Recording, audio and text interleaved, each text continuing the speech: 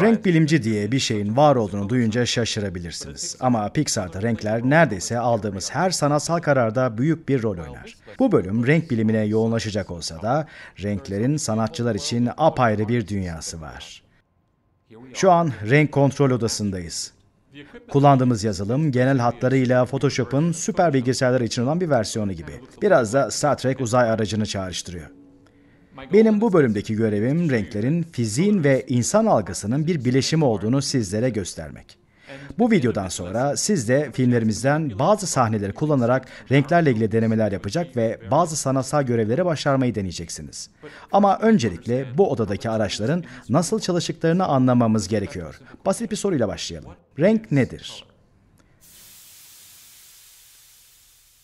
Renk ışığın bir özelliğidir ve ışık da ışık kaynaklarından gelir.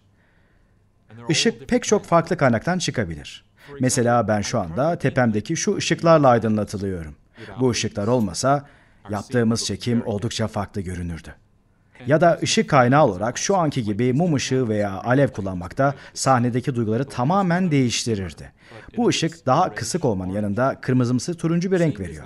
Bunu beyaz bir kağıtta gösterince daha net olacak. Siz de videoyu durdurun ve ekranın önüne benimki gibi beyaz bir kağıt koyun. Benimkiyle sizin kağıdınız arasındaki farkı görebiliyor musunuz? Evet, aynı değiller.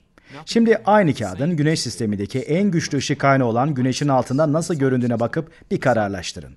Güneş gerçekten de çok güçlü bir ışık yayar. Özellikle de tam gün ortasında. Şu an bu kağıdın mum ışığına göre çok daha beyaz göründüğünü fark etmişsinizdir. İçerideyken ışık daha kırmızımsıydı. Peki kırmızı ışık nereye gitti? Hadi içeri geri dönelim ve size ne olduğunu anlatayım. Burada önemli olan ışığı bütün renklerin bir bileşimi olarak düşünmek. Sir Isaac Newton güneş ışığını ayrıştırmak için bir prizma kullandığında bunu açıkça göstermişti. Güneş ışığı prizmanın içinden geçip çıktığında bükülür ya da kırılır ve bir ışık tayfına yani spektrumuna ayrılır.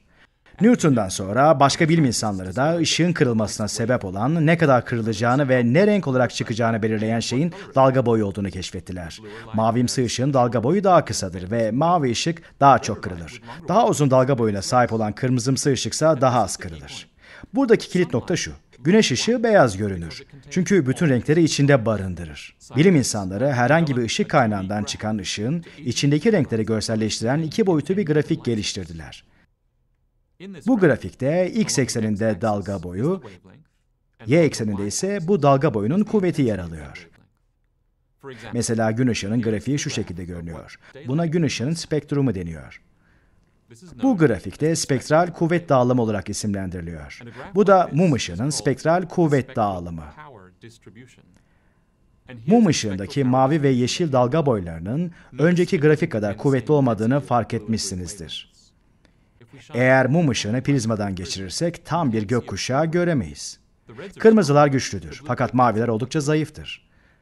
Sıradaki alıştırmada farklı ışık kaynaklarının spektrumlarını inceleme ve onlarla ilgili bazı soruları yanıtlama şansınız olacak. Örneğin bir lazerin spektrumu acaba nasıl görünür?